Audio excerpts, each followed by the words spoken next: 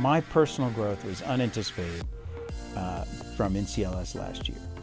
And it was the response that I got after the symposium. So we had a number of speakers on a broad range of topics, and uh, I received a lot of letters and phone calls and emails about the speakers.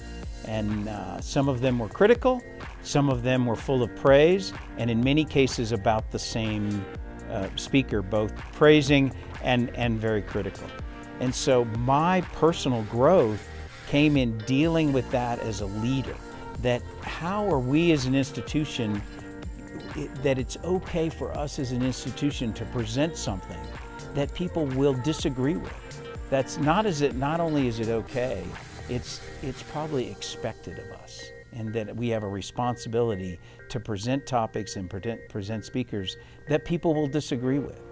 And so that was my own journey that I didn't expect, I didn't anticipate until after the NCLS as the response came in.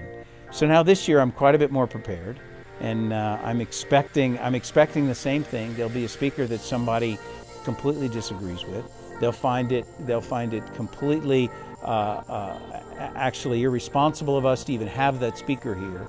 And then the subsequent letter or email will say how great it was of us to have that speaker here and the great message that they had. So uh, I, I think for me, my personal growth, understanding how we can present both sides of the topic to the cadets and to the audiences.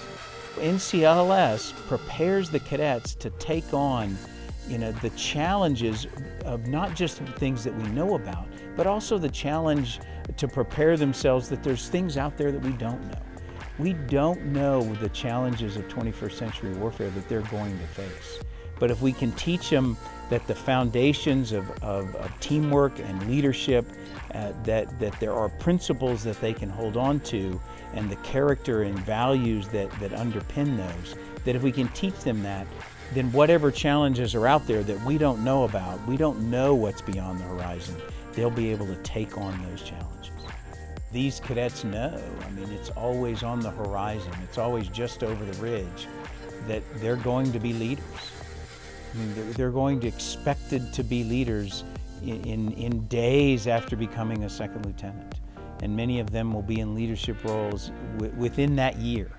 And, and to think about those, those first classmen that are, that are sitting in those audiences that months later they will be leaders in, in their organization. And, and it cannot be uh, to transition from cadet life to being an officer in the United States Air Force. And the symposium has an important role in helping them with that transition. And if for no other reason, uh, by having it that second semester of their first class year, and somebody starts to talk to them about what happens after May, uh, I think that's so important for the cadets to begin to have their, their own reflective moment, their own opportunity to think about how they're going to lead and how they're going to, to, to be the right team member and how they're going to lead an organization.